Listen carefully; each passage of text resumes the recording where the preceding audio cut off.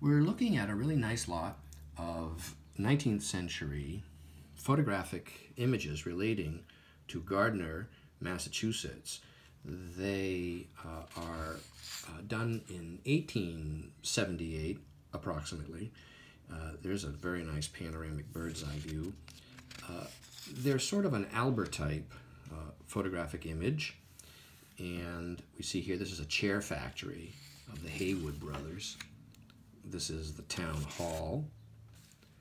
Here is the paint shop of the Heywood brothers. Wow, there's a lot of painting going on in that building.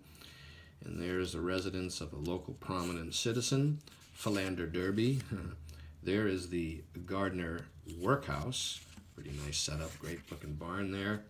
Here is the First National Bank with signage on it you can see, and maybe you took out a magnifying glass, you might even be able to read the signage on the building itself, given the splendid level of resolution in the images.